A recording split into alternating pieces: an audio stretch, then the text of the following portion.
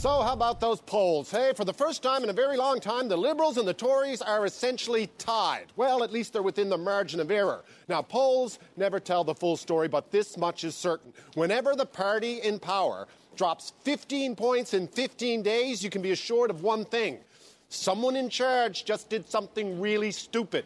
In this case, the Prime Minister figured he could suspend Parliament for three months and get away with it because, in his words, Canadians just don't care. Boy, was he wrong. Wow. He should get out more. Maybe go to a Tim Hortons. Get a feel for the place. See, this is what I love about Canada. Yes, we are apathetic, but the minute anyone tries to use our apathy against us, suddenly we start to care big time. It's funny, the Prime Minister doesn't get this. Instead, he just keeps saying, Oh, don't worry, yes, I've suspended Parliament, but don't worry, I'm hard at work. You know what? Big deal. Of course he's at work. He's the prime minister. I'm sure Raul Castro is going to put in a full day tomorrow running Cuba. We just like to think that the bar is set a little bit higher up here.